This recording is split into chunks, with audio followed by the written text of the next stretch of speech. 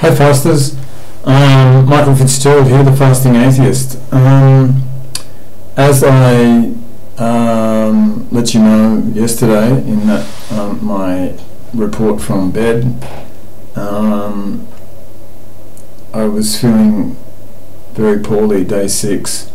Today, day seven, I took myself off to the doctor because the nausea was just getting more constant, fact, without any let up whatsoever.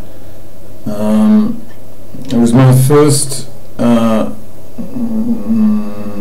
consultation with the doc with any doctor about the fast, and I was reluctant to actually fess up to my local GP because I knew that she would not be um, well disposed to the idea. In fact, as you will know, uh, guys, um, anyone who's joined recently and who has perhaps tried to consult their GP, you have to be very lucky to find a GP, uh, doctor, MD, MD in America, we call them GPs here, general practitioner, um, who will back you on this. In fact, usually you have to go to a centre, a fasting centre, where um, you pay a shitload of money and uh, you're monitored on a daily basis, I think, and on a weekly basis or thereabouts, a whole battery of blood tests would be done so that they could monitor um, just how your body's reacting.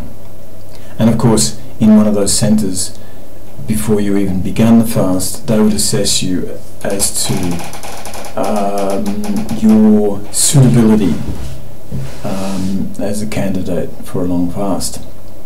So, because I neither have the resources to go to a centre nor a doctor who is sympathetic to uh, fasting, and as I live in a remote part of northern New South Wales in a little country town, um, I had no choice but to just go it alone. So today, when I went to the doctor, um, the doctor uh, and told her that I'd been, I was into uh, day seven into a fast.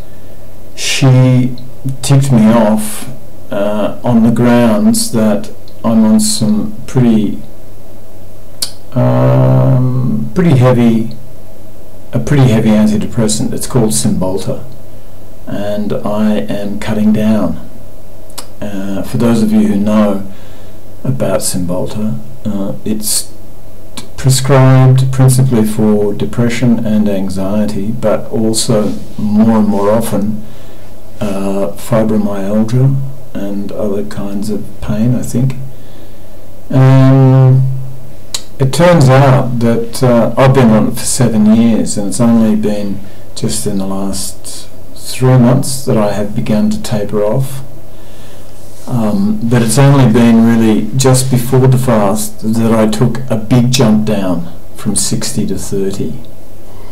And sh she suggested, uh, in no uncertain terms, well, she didn't suggest, she made it known in no uncertain terms, that there was just no way that we could unpick what was the um, withdrawal symptoms from Cymbalta, which can be savage. Uh, brain zaps every, you know, like some people get them a hundred times a day.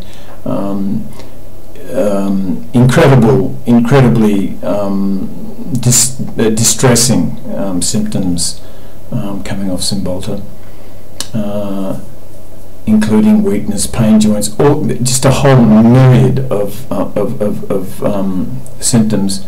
So much so that Eli Lilly, the manufacturers, still don't have a definitive list of the the symptoms. And I suppose, as with a lot of drugs, people um, uh, both respond differently to the therapeutic dose that they're on, and also respond differently when they're withdrawing. So the long and the short of it, you can tell where this is going. She um, insisted that I um, get off the fast immediately, and though I was in no way bound to follow that direction. I thought until I get off the Cymbalta, and there's another drug too um, that I'm on, uh, clonazepam, which is also I'm also tapering. Um, I, decided that really that was perhaps asking a little bit too much of myself to put myself under the pressure of the withdrawal from both those drugs and the ardu- uh, the arduous um, days that you have, the difficult days that you have as a result of the long fast. Um, in a way, by, by putting myself under that duress, that kind of triple duress, I was denying myself the opportunity to really experience the the um, the effects and the side effects of the full fast in their simple, straight up purity. Um, that sounds like a justification for just getting hungry and going and, and, and breaking the fast. I was, I was very hungry, I'll be completely honest. But, um, not, no buts. I, um, I was obsessing about eating, uh, especially about drinking something and, and something so, um, like soda, uh, almost as if my body was craving the car- carbonated effect or, or perhaps the salts or the um, but at any rate, um, I was I was craving so badly because I was feeling so poorly, and I just wanted to put an end to that um, um to that nausea. Now, that being the case, so I, I've eaten today. I broke my fast. I just wanted to reassure you guys that I'm going to keep this channel open. Um, I hope you stick with me because I, as I said to you in yesterday's post, I am 100% committed to coming back and doing this long fast. I see it as a watershed in my life, as a, the chance at a basically a new birth, a new beginning.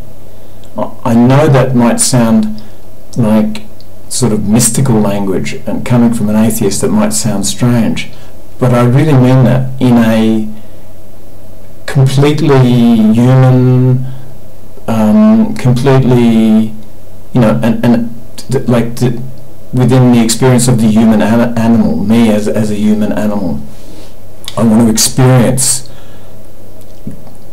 the um, dynamics, the, the pitfalls, the ups and downs, and the wonderful benefits uh, which I have read about for myself in this my 57th year. Um, perhaps it, won't be now until the beginning of the, well, in December now, it won't be until the beginning of my 58th year, uh, year I turned 58 in April. Um, but really, if you, if you stick with me, I'm going to come back with uh, more news about alternative diets. So that while I'm getting off clonazepam and Cymbalta, I'm going to experiment with different forms of fasting as a, pre- a preparative to the big one, as training to get to base camp, you know, before, you know, uh, setting my sights on the summit, you know, the, the, the summit of, um,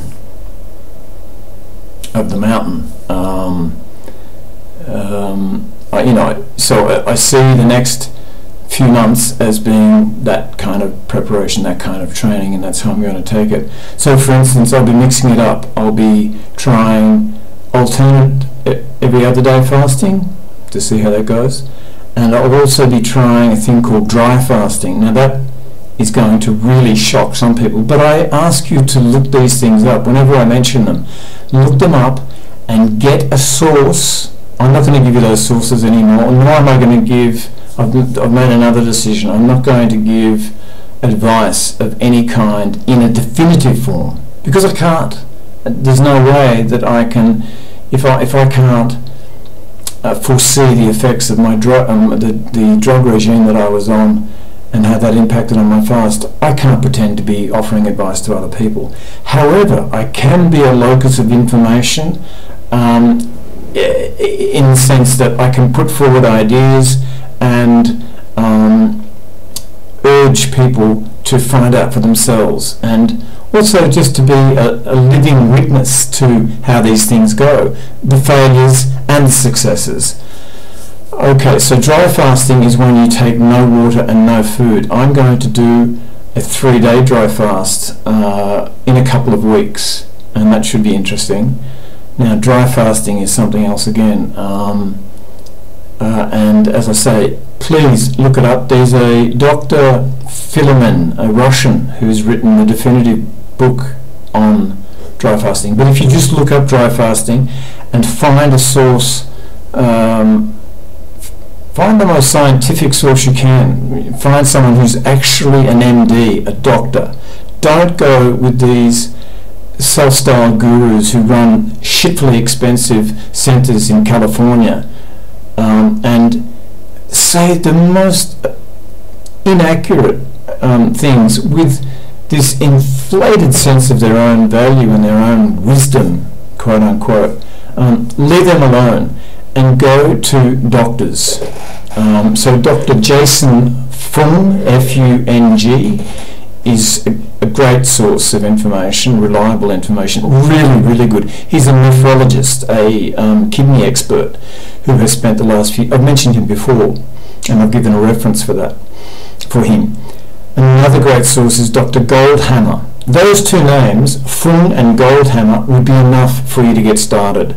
Uh, and, and then just take you away from there. But I urge you, as a, a rationalist, uh, as someone who doesn't believe in any um, spooky um, supernatural interventions or uh, or nor do I believe in any pie in the sky myths about you know the balance of nature and that if we only just find the right balance we'll all just be happy and completely healthy. I think that's total bullshit too. I do think that the that fasting is the natural nature's way of doing what we can to make ourselves well, and therefore I remain committed to the process. And I see this as just a tactical withdrawal until I get on top of my Cymbalta and my um, clonazepam. And if you'd care to stick with me, I think we can ha have uh, a valuable time together going forward. So I'll leave you with that now, guys, and get back to you um, in very short order. Okay, bye, and all the best for those that are on still going with their fast. Keep at it. And if you have any questions that you want to direct at me, if I don't know the answer, for sure I will come up. If you if you ask direct questions, I will get back to you with um, a researched answer. Okay, bye for now.